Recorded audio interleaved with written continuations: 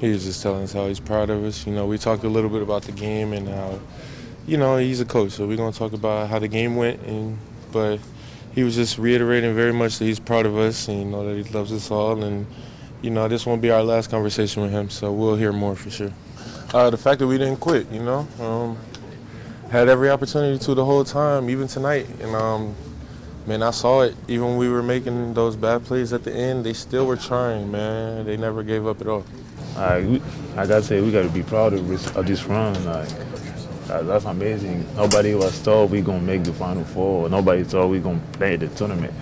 And we make a big run. We we won nine straight games. That's amazing, and that's, we got to be proud of that. Uh, it's a very special month uh, from our our from like I'm just a kid from France. Like I play Final Four. Uh, it's like maybe a couple of people doing this like in my country, and uh, I play a bigger role on my team, uh, and I help my team to make this Final Four, and people are gonna remember us for years now.